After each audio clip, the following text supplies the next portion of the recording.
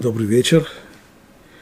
Сегодня мы начинаем изучать новый раздел Торы Ахарей Мот после смерти. Имеется в виду после смерти сыновей Аарона.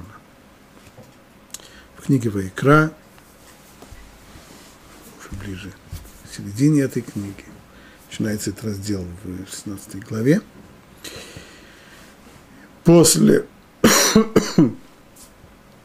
того, как Тора заканчивает изложение всех э, законов о жертвоприношениях, затем описывает освящение храма переносного, мешкана, в ходе которого и погибли двое сыновей Аарона. И вот теперь этот раздел, по крайней мере его первая часть, посвящена действиям первосвященника в Йом-Кипур.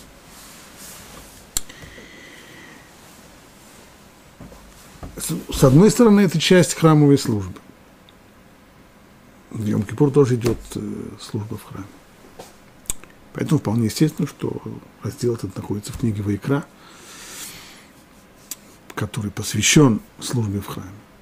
Но специфика этого раздела в том, что в нем не приводятся законы, которые касаются ежедневной, и, и не, не только не упоминаются вообще все те законы, которые касаются ежедневной службы в храме, проходящие в Йом-Кипур тоже. Йом-Кипур не отменяет ежедневных жертвоприношений. Есть добавочные, дополнительные жертвоприношения, которые может приносить только Коэн Гадоль, первосвященник. Вот о них-то здесь идет речь. А есть еще дополнительные жертвоприношения мусав, которые приносятся только в Йом-Кипур, но поскольку э, они не входят именно в необходимые для первосвященника э, деяния, то о них тоже речь не пойдет. Что сказано в тексте? Что должен сделать в этот день, великий день прощения грехов, первосвященник в Иерусалимском храме? А от общины сынов, это пятый стих, в 16 главе. А от общины сынов Израиля пусть возьмет он двух козлов в жертву за грех. Среди самых разных жертвоприношений – есть жертва, которая называется хатат, это очистительная жертва или жертва за грех, более точный перевод это именно очистительная жертва, и одного барана. А вот баран уже во всесожжение, то есть оля. Дальше сказано, и возьмет он двух козлов, и поставит их перед Богом у входа в шатер собрания. То есть входа в храм, входа в переносной храм становится два приведенных первосвященником козла. И возложит Аарон на обоих козлов жребий. То есть какой из козлов куда пойдет, определяет именно жеребьевка. И возложит Аарон на обоих козлов жребий. Один жребий для Бога, а другой жребий к Азазелю. Ну, жертва, жребий для Бога вроде бы понятен. Имеется в виду, что это будет жертва хатат, очистительная жертва Богу. А что значит козел, который, которому выпал жребий к Азазелю? И что такое Азазель? Об этом мы поговорим чуть позже. Пока что ограничимся тем, как объясняет Раши, что этим, под этим именем скрывается горная местность, изрезанная обрывами, обрывистая горная местность. И приведет Арон козла, на которого выпал жребий для Бога, и сделает его очистительной жертвой. А козел, на которого выпал жребий к Азазелю – пусть будет поставлен живым перед Богом чтобы совершить им искупление для отправления его к Азазелю в пустыню. Один приносится в жертву Богу, заканчивает свою жизнь святая святых, а другой остается живым. Вопрос, надолго. И зарежет он козла очистительной жертвы и скупит святилище от скверны сыновей Израиля и от их преступлений во всех грехах. То есть это очистительная жертва помогает искуплению грехов в Йом-Кипур. И возложит Арон руки на голову живого козла и исповедуется над ним во всех беззакониях сынов Израиля – во всех их преступлениях и во всех их грехах. Так, традиционное разделение на три категории грехов – хет, авон и пеша. Словно перевели как беззаконие, преступления и грехи. Так, есть здесь видуй, исповедь, Коэн Гадоль, первосвященник, исповедуется во всех грехах народа Израиля и возлагает их на голову козла, что само по себе довольно странно, что значит, как, каким, можно, каким образом можно возложить грехи на голову козла. Грехи это не, не поклажа, которую можно приложить э, на чью-то шею или на чью-то голову. Вот так сказано в тексте. «И возложит Арон руки на голову живого козла, и исповедуется над ним во всех беззакониях сынов Израиля, во всех их преступлениях, во всех их грехах, и возложит их на голову, на голову козла и отошлет с человеком, который был наготове, с нарочным, как говорят, в пустыню. И понесет козел на себе все их беззакония страну обрывов и отправит он козла в пустыню. Перед нами ритуал который известен под названием «Козла отпущения». В день, в Йом-Кипур, в день отпущения грехов, и это действительно центральный ритуал всего дня. Сеир Хамишталех в еврейской традиции он не называется козлом отпущения, он называется Сеир Хамишталех, то есть тот козел, которого отсылают в пустыню, в страну обрывов.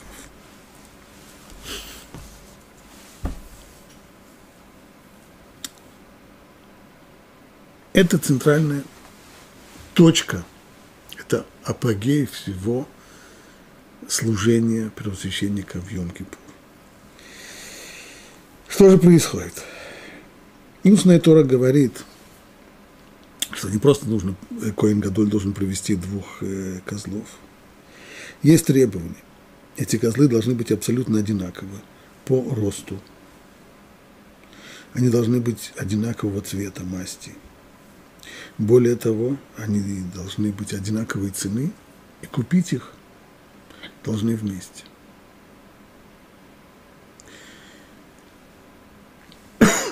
Вот такое требование.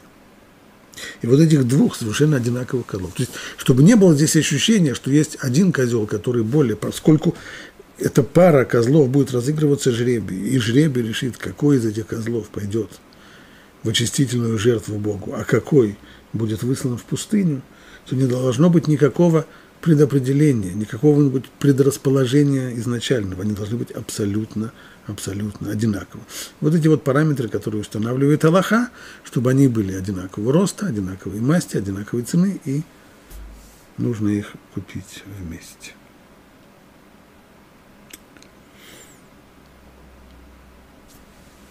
Вот после того, как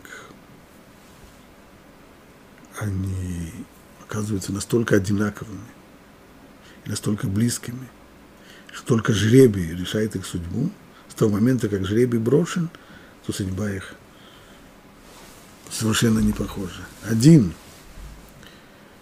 будет принесен в очистительную жертву Богу.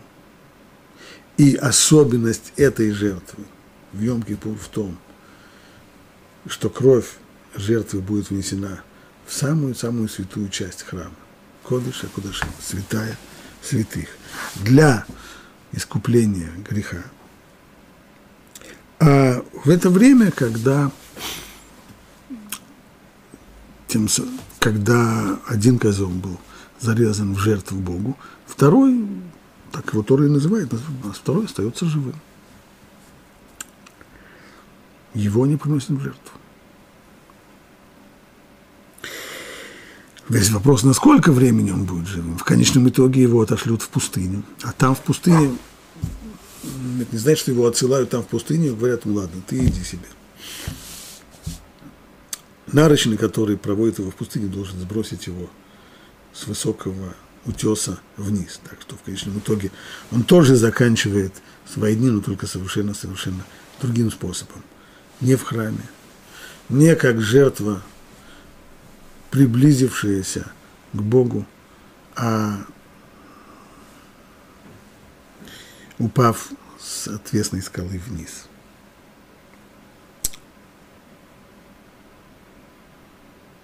В чем смысл? В чем символика вот всего этого ритуала?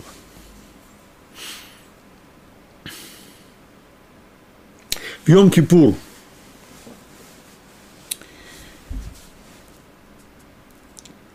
от нас требуется шува, то есть исправление грехов. Нужно раскаяться. И, естественно, в этот день человек возвращается к мысли, к самой-самой основе, которая лежит, и это основа греха, и это основа и раскаяния, а именно свобода выбора благодаря чему человек согрешил. Ибо Всевышний уделил его свободой. Всевышний не предопределяет его действия, и, соответственно, человек в состоянии нарушить волю Бога и совершить грех. Но точно так же, как Всевышний не предопределил путь человека и дал ему возможность морального нарушения, точно так же совершенный грех не сжигает за человеком мосты, не предопределяет дальнейший путь человека. Так что человек, даже совершивший грех, тоже остается свободным в своем выборе и в состоянии отказаться от того, что он сделал, в состоянии не хотеть того, что привело его к греху, в состоянии раскаяться и исправиться. Он остается свободным в своем выборе. Как Как осуществляется вот этот вот свободный выбор? Благодаря заложенной в человеке силе, которая противится любому, любой попытке навязать, навязать нам что-то. Если кто-то навязывает нам свое желание, мы чувствуем себя не только некомфортно, мы восстаем против, против таких попыток навязать нам навязать нам свою волю. Дана эта сила человеку, безусловно, для того, чтобы он прежде всего боролся бы со своими влечениями, боролся бы со своими инстинктами. Но человек может использовать эту силу сопротивления в совершенно другом направлении. Всевышний сказал ему, не делай так-то.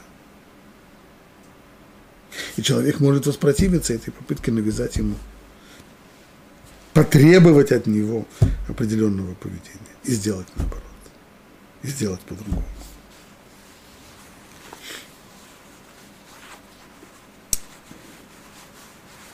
С одной стороны,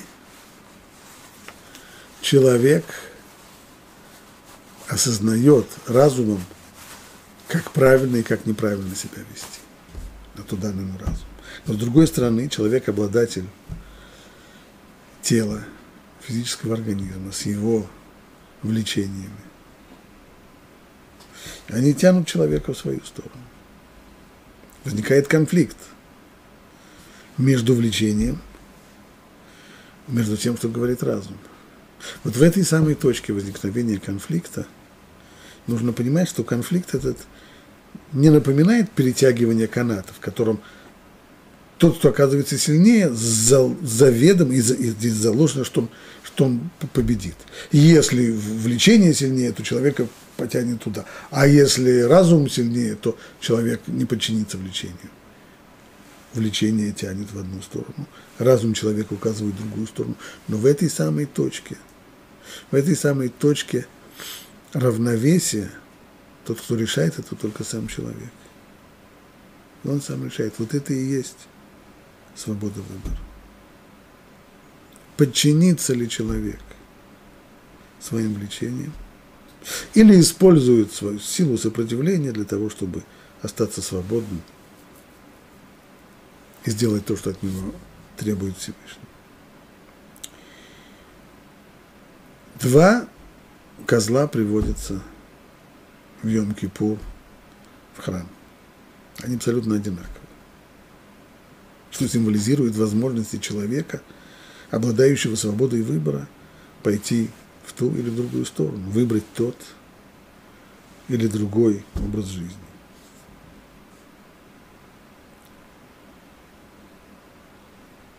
Вот он выбор, который приходит человеку в Йом-Кипур.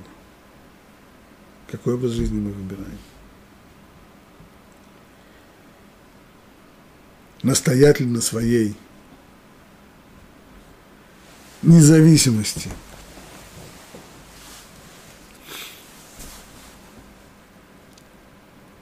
Сопротивляться требованиям, которые предъявляются ко мне. Сопротивляться требованиям морали, требованиям заповедей и закона. Или же нет?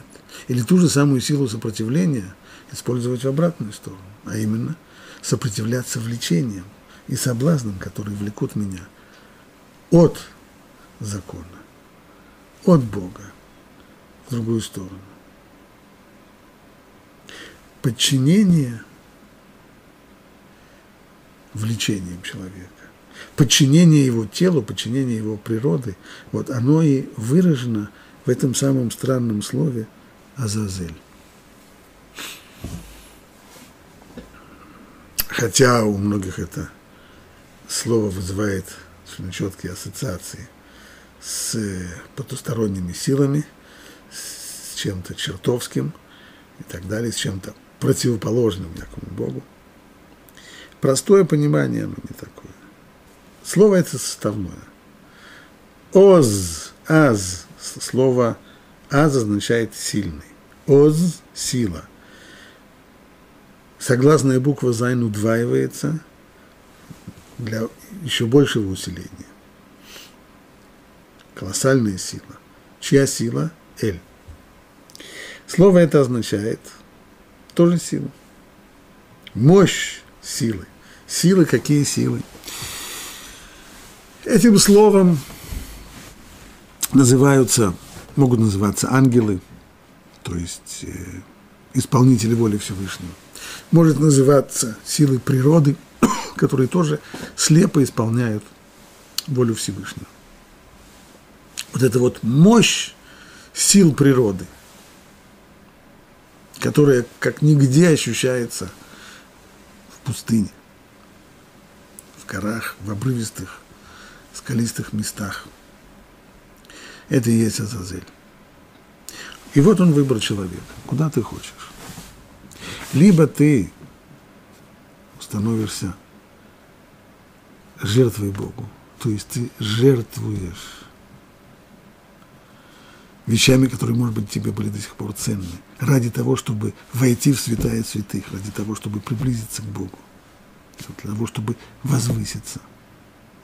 Либо ты будешь настаивать на своей независимости, свободе, сохранишь жизнь, которая принадлежит только тебе и никому больше – но в сущности эта жизнь означает подчинение слепой силы природы, подчинение вот этой вот мощи сил природы, которые бушуют в человеческом теле, в человеческой психике, его влечение,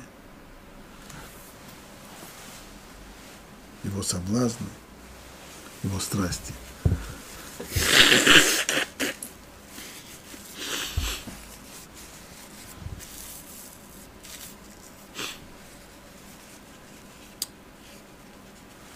Выбирает, выбирает только сам человек. В этом, по сути дела, все величие этого человека. Если бы не было у человека этой силы сопротивления, способности сопротивляться, если бы не обладал человек свободой выбора, если бы отняли бы у него эту свободу выбора, то кем бы человек был бы? Амебой. Был бы существом, которое слепо подчиняется созданным Всевышним законам в мире. А все величие человека именно в том, что он способен не подчиниться Всевышнему. И будучи способным не подчиниться Всевышнему, если он использует эту свою свободу для того, чтобы подчиниться, вот тогда он и достигает на самом деле целей своего существования.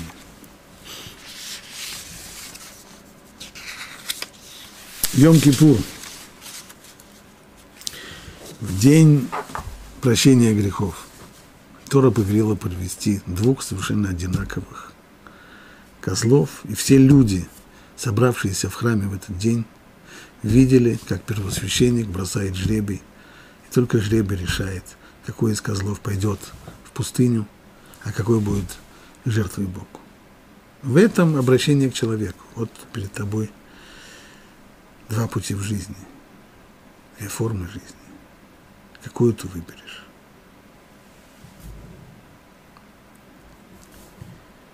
Первая форма –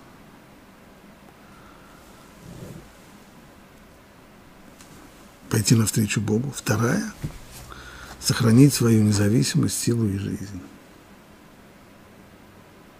Почему именно козлы?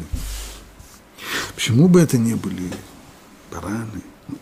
Конечно же, если бы это были бараны, мы бы пришли бы и спросили бы, а почему это бы не, не были козлы или, или телята или еще что-нибудь. В конечном итоге жертвы приносятся из трех видов животных, из коров, из овец, из коз. Но все-таки.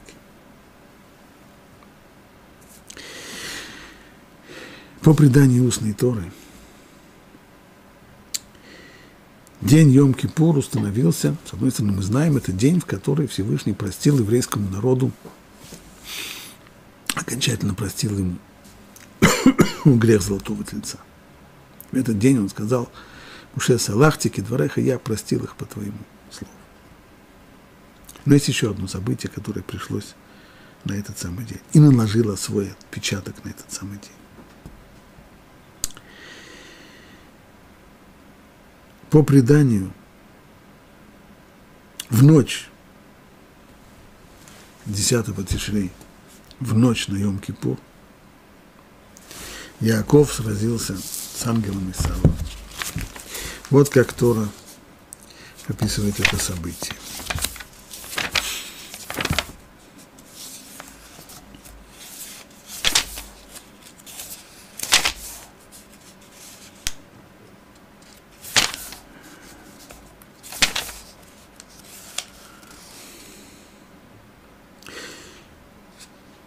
После того, как Яков посылает Исаву, идущему ему навстречу, богатые подарки, написано, и отправился дар впереди него, а он ночевал в ту ночь в стане.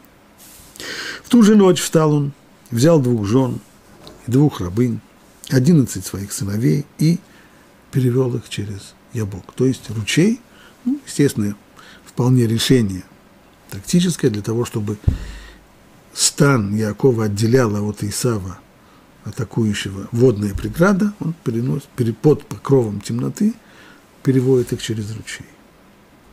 И взял их и перевел через проток, и перевел все, что у него. И остался Яков один. Он один остался по ту сторону ручья. И боролся некто с ним до восхода зари. Некто. Но увидел тот, что не одолевает его, и тронул сустав бедра его, и вывернулся сустав бедра Якова в борьбе с ним. Яков вышел из этой самой борьбы хромым, ковыляющим. И сказал тот, отпусти меня, ибо взошла заря. Но он сказал, не отпущу тебя, пока не благословишь меня. И сказал он ему, как твое имя? И сказал он, Яков. И сказал он, Яков.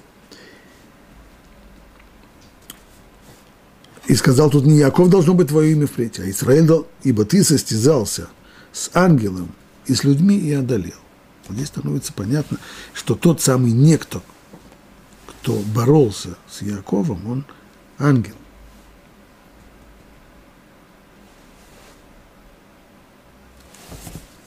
А на завтра, после того, как закончилась эта борьба с ангелом, приходит встреча с Исавом. Столкновение, слава Богу, не вышло. Исав вместо того, чтобы броситься с кулаками на, или с мечом на Якова, бросился ему на шею, обнял, поцеловал. И потом он говорит своему брату,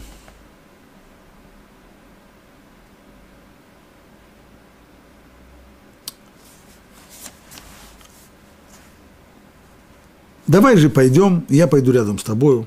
Идем отныне вместе, наравне.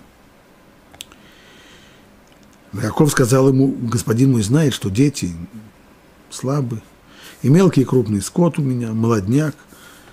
И если перегнать их в один день, то вымрут все овцы. То есть ты идешь налегке, а если я сейчас со своим скотом начну понукать скот, чтобы двигаться быстро, то я могу потерять все. Пусть же пойдет господин мой впереди раба своего. Ты иди, иди вперед. А я потом к тебе приду. А я буду двигаться медленно, поступью скота, который передо мной, и поступью детей, пока не приду к господину моему в Сеир. Куда? В Сеир. Как называется козел на языке Торы? Сеир. И сказал Исав, ну так, знаешь что, я представлю к тебе из народа, который у меня, дам тебе караул, чтобы тебя охраняли. Ну, он сказал, к чему это? Пожалуйста, не надо, спасибо, не нужно.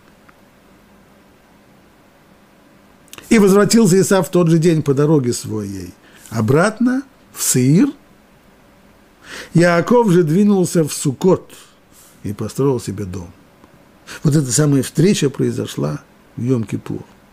Встреча, в которой Яков, с одной стороны, отдал подарки Исаву,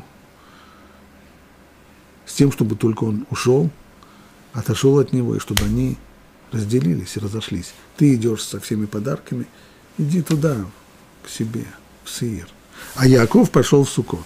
Да, сразу после Йом-Кипура, через несколько дней наступает праздник Сукот. И вот это вот все произошло в день Йом-Кипура. Слово «сеир», которое, с одной стороны, обозначает в Торе козла, с другой стороны, этим словом называется страна, в которой живет Исав, по названию его тестя. Кроме того, это слово еще означает просто волосатый. Что значит волосатый?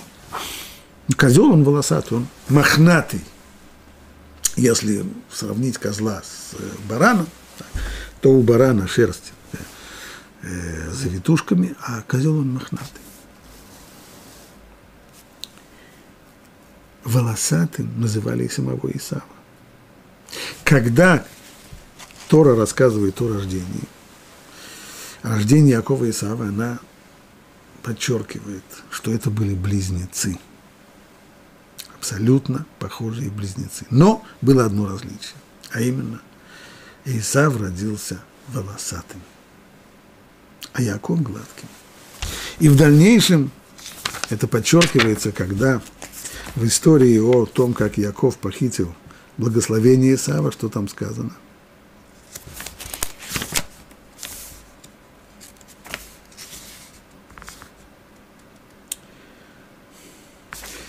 Ривка зовет Якова и говорит ему. И сказала Ривка Якову своему сыну, вот я слышала, как отец твой говорил Исаву, твоему брату, сказав, принеси мне дичь и приготовь кушанье, и я буду есть, и я благословлю тебя перед Богом, прежде чем я умру. А вот теперь же, сын мой, послушайся моего голоса в том, что я повелю тебе. Пойди-ка в стадо и возьми мне оттуда двух козлят, и я приготовлю их твоему отцу в кушанье, какой он любит, и поднесешь ты своему отцу, и он поест, чтобы он благословил тебя перед тем, как умрет. И сказал Яков Ривке своей матери, ведь Исав мой человек волосатый, а я же человек гладкий. Как написано в оригинале, «Вайомер Яков Ривка ему, хене Исав ахи иш саир, ванухи иш халак». Иш, саир, человек волосатый. Исав. Козел называется Саир. Исав называется Саир волосатый. Двух козлов приводят в храм в Йома Кипурим, и они должны быть абсолютно одинаковые, абсолютно похожи. По высоте, по цвету, по цене. Они должны быть как близнецы, подобно тому, как Ясков и Исав были близнецами. Они были близнецами, они были абсолютно похожи друг на друга. Говорит Раши, до возраста 13 лет невозможно было вообще различить между ними. В 13 лет их пути разошлись. Один занялся тем, что ему было интересно. Охотничий спорт, служение идолам.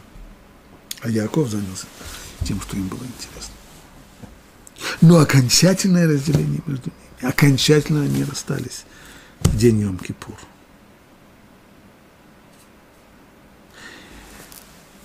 Эйсав казался средоточием силы. Он шел во главе отрядов 400 вооруженных телохранителей. По сравнению с Яковом, который занимался, у, него тут и, и овцы, и, и дети, и полно забот. И он еще к тому же слабенький. И нет, он еще к тому же еще и ковыляет, он хромает, а Исав воплощение силы. Но вот со всей этой колоссальной силой, со всей самоуверенностью, Исав шагает навстречу смерти. Этот путь обречен, этот путь к смерти. Правда, дорога-то далека, поэтому конца-то ее не видно. Поэтому Исав идет в Сиир и идет так самоуверенно и бодро. А Яков ковыляет, хромает. Сколько раз в историческом пути Якова наступали моменты, когда казалось, что он вот уже, все уже, что он близок к смерти, что он близок к гибели, и все равно он выходил каждый раз. Два пути. Подобно тому, как два пути вставали перед теми самыми двумя козлами, которых приводили в Йом-Кипур. Один войдет в святая святых, один очистительная жертва, а другой, а другой отправится в пустыню.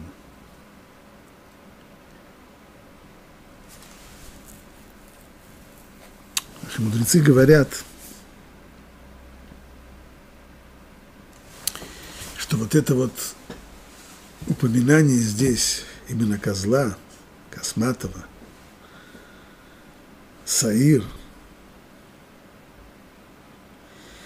лежит в самой основе искупления грехов.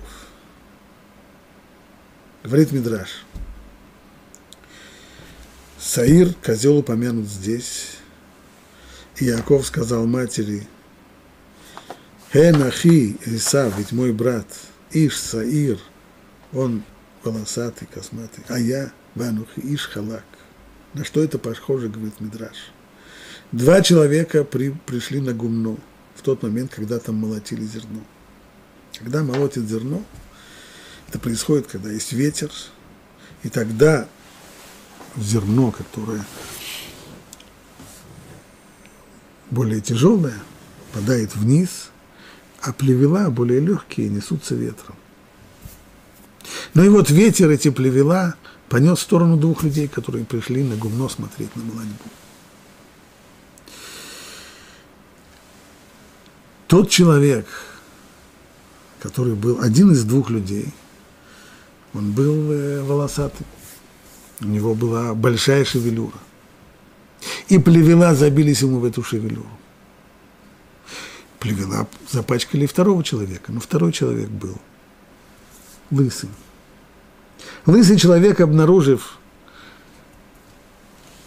что на голову ему сели плевела, проводит рукой по своей лысине, и он становится чистым.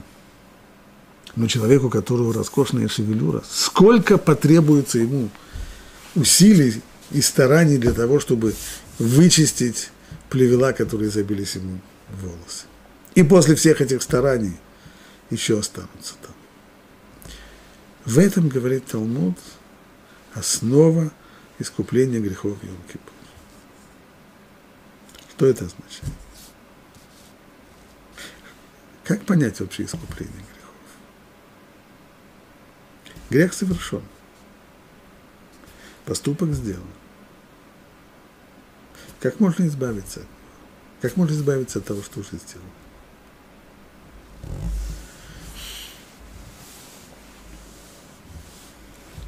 Основа здесь искупления в том, в понимании того, что человек по сути своей, он не грешен.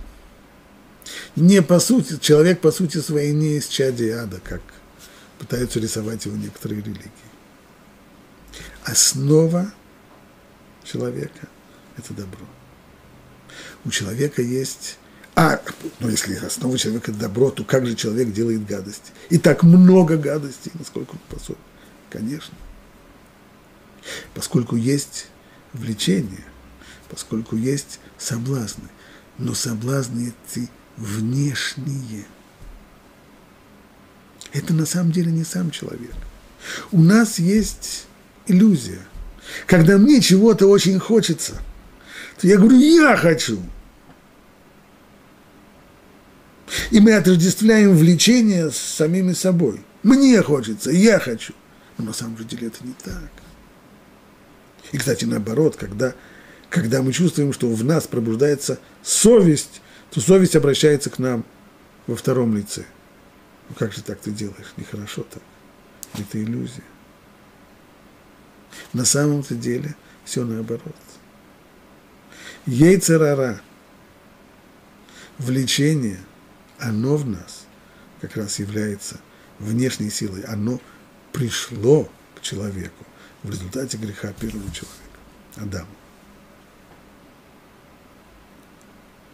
И эта внешняя сила, она соблазнила нас на, на грех.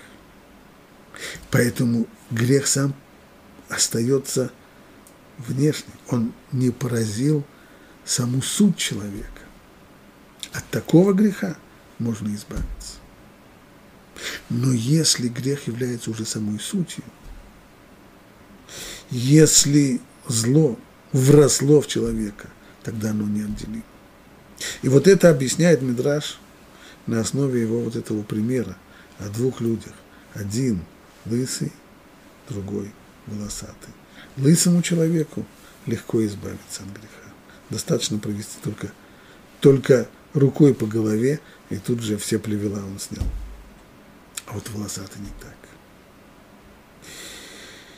В этот самый день, в Йом-Кипур, в день, который Яков расстался с Исавом окончательно.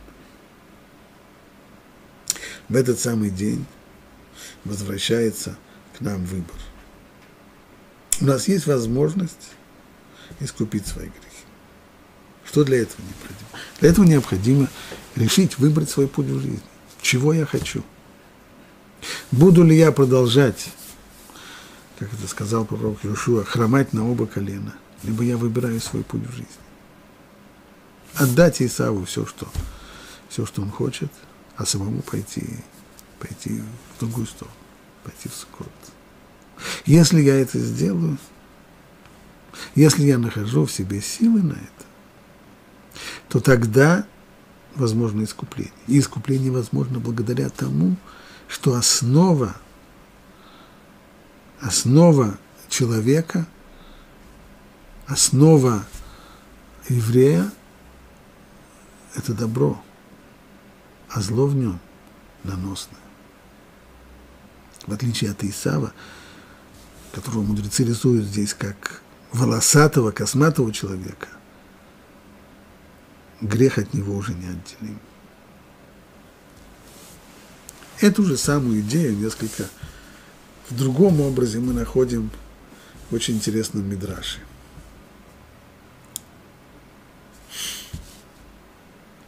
Сказано в Шира Ширин, в песне песни.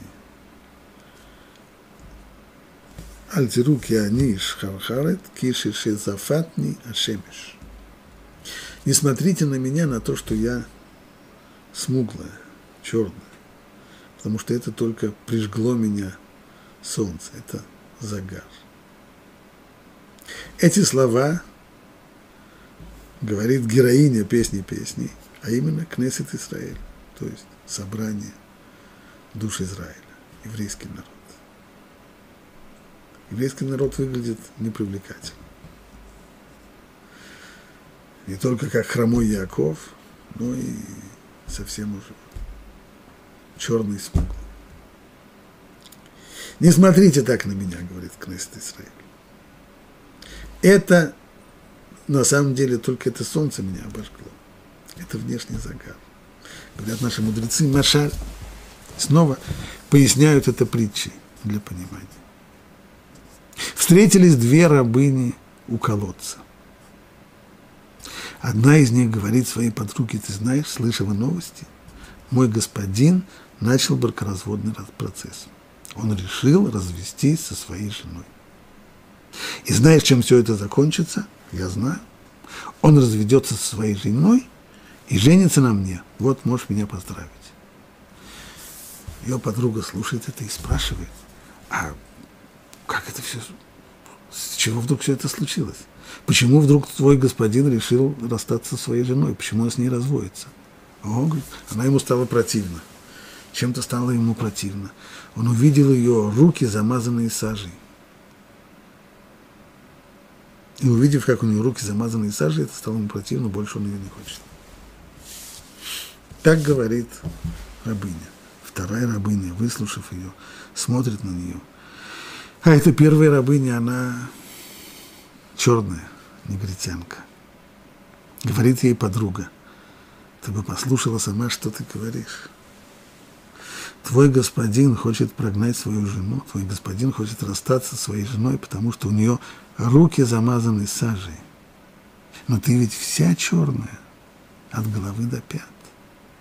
Почему же ты думаешь, что он возьмет тебя вместо своей жены? Черная рабыня не только потому, что она вся черная от головы до пят. У нее чернота, то, что она черная, она черная по своей сути. А та самая жена, на которую господин разгневался, она черная не потому, что она сама по себе черная, а потому что руки у нее замазали, замазаны сажей. Это чернота, эта грязь, она внешняя, она наносная. И это то, что говорит народ Израиля. Не смотрите на меня, что я такая смуглая. Это меня опалило солнце. Это загар, он внешний, он наносный. И это извечный спор между народом Израиля и народами мира. Известно, что народы мира, по крайней мере, часть этих народов, утверждает, что еврейский народ, согрешивший, совершив грехи перед Всевышним, да, он раньше был избранным народом, совершенно верно. Всевышний избрал его, избрал его в силу заслуг наших працев, но это все в прошлом. А ныне еврейский народ, согрешив, отвергнут Всевышний. И что же теперь? А теперь Всевышний приблизил к себе других людей. Есть новый Иерусалим. Есть новая избранница. На что отвечает Мидраш, если Всевышний разгневался на свою, на избранный народ, на свою подругу из-за ее грехов, так ее грехи подобны саже, которая измазала руки. Значит ли это, что ради из-за того, что руки сажей измазаны. Он отвергнет ее и возьмет себе тех, которые по сути своей черны.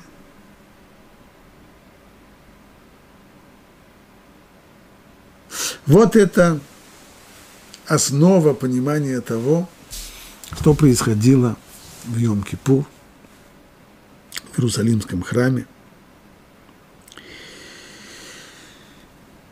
когда жребий решал путь для каждого из козлов, что является, как мы сказали, символом свободы выбора. Свобода выбора означает, что нет предрасположенности, нет предопределения первичного, куда человек пойдет и кем он станет. Станет ли он праведником, выберет ли он путь приближения к Богу, либо выберет ли он путь, который ведет со всем ощущением жизни и независимости, но ведет он в никуда, ведет он в пустыню, в страну обрывов. И выбирать только самому человеку.